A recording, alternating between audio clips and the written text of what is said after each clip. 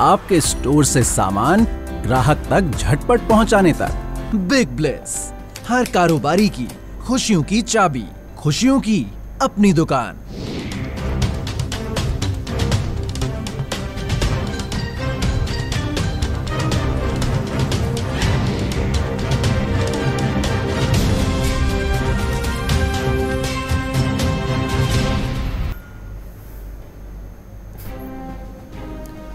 Ukraine और Russia के बीच चल रहे युद्ध का असर अब साफ़ दिखाई देने लगा है। इस युद्ध के असर से कई चीज़ें इसलिए महँगी होने लगी हैं क्योंकि उनका आयात बाधित हुआ है। अगर बाज़ार में किसी चीज़ की ज़्यादा मांग हो, लेकिन देश में वो उतनी मात्रा में उपलब्ध ना हो तो आयात कर उस चीज़ की मांग को पूरी की जाती है और महँगाई कंट्रोल में लाई जाती है। लेकिन युद्ध की स्थिति में इस डिमांड सप्लाई चेन पर असर पड़ने से सोयाबीन महँगी हो गई है। इससे किसानों को तो फ़ायदा हुआ, क्योंकि उन्हें अपने उत्पाद का सही दाम मिल पा रहा है, लेकिन शहरों में इसका बुरा असर दिखाई देने लगा है।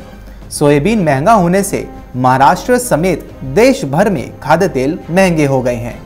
कुछ महीने पहले छह हज़ार रुपए प्रति क्विंटल मिलने वाले सोयाबीन अब सात हज़ार पाँच सौ रुपए क्विंटल तक मिल रहे हैं। महाराष्ट्र के वाशिम बाज़ार समिति में किसान बड़ी हुई कीमत का फ़ायदा उठाने के लिए बड़ी तादाद में पहुँच रहे हैं। और तेज़ी से अपनी सोयाबीन बेच भी रहे हैं। रशिया यूक्रेन युद्ध की वजह से रशिया से आने वाले सनफ्लावर तेल की आवक भी रुक गई है। इसका परिणाम बाज़ार में दिखाई दे रहा है। बेमौसम बरसात की वजह से देश में सोयाबीन की पैदावार काफ़ी कम हुई है। जो पैदावार हुई, वो अच्छे स्तर की पैदावार नहीं थी। इस पर युद्ध की वजह से आयात भी कम हो गया है। इसलिए खाद्य तेल के दाम में इसका असर हुआ। किसान खाद्य तेल की कीमतों को बढ़ोतरी के अनुपात में अपने उत्पाद के दाम में और बढ़ोतरी करना चाह रहे हैं। महाराष्ट्र के वाशिम बाज़ार समिति के व्यापारियों के मुताबिक, युद्ध के संकट की वजह से सोयाबीन की दर लगातार बढ़ती जा रही है। भारत में सोयाबीन तेल मुख्य रूप से अर्जेंटीना और ब्राज़ील से आयात किया जाता है और सनफ्लावर, यूक्रेन, रशिया और अर्जेंटीना से मंगवाया जाता है। लेकिन युद्ध छिड़ने की वजह से इन दोनों देशों के आयात पर असर पड़ा है। इस युद्ध की वजह से ब्लैक सी से होकर आने वाला माल रुक गया है।